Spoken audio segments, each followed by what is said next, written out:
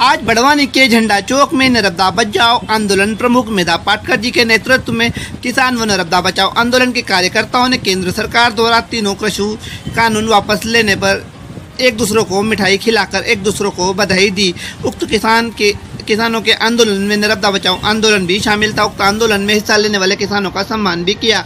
नर्मदा बचाओ आंदोलन की मेधा पाटकर जी ने कहा, मिठाई खिलाने और बात है इन्होंने तो मोदी जी को हार खिलाई है। तमाम प्रकार की हिंसा वो छुपी हिंसा हो या लखीमपुर खीरी जैसी खुली हिंसा को सहकर अहिंसक सत्याग्रह के रास्ते डट कर डटे होकर जीत हासिल हुई है।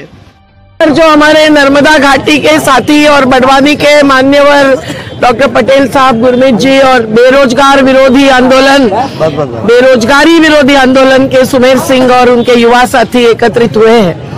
वो किसानों की और मजदूरों की, पशुपालकों की, आदिवासियों की जो जीत हुई है, उसे एक प्रकार से मनाने के लिए। मिठाई खिलाना एक बात है, लेकिन इन्होंने तो मोदी जी को हार खिलाई है।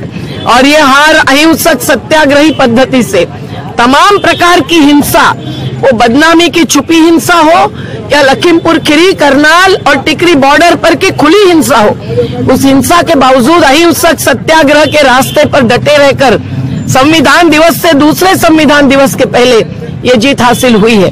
लेकिन मोदी जी तो जिस प्रकार से अजनतांत्रिक पद्धति से कानून लाते हैं, उसी अजनतांत्रिक पद्धति से कानून की वापसी घोषित करते हैं। और इसीलिए हम लोगों को हम देखेंगे हम देखेंगे, यही कहना पड़ता है। क्योंकि संसद सत्र में क्या होगा, ये भी देखा जाएगा। वो तो सवाल खड़ा करने के मौका और अवकाश तक नहीं देते हैं। दूसरा कि ये तीनों कानून वो वापस भी करेंगे। तो भी आज जो किसान आत्महत्या आरपी टीवी न्यूज़ की खबरें पाने के लिए लाल कलर का सब्सक्राइब बटन दबाइए, साथ ही नोटिफिकेशन के लिए बेल आइकॉन दबाइए, और साथ ही आरपी टीवी की न्यूज़ की खबरों को लाइक कीजिए शेयर कीजिए सब्सक्राइब कीजिए।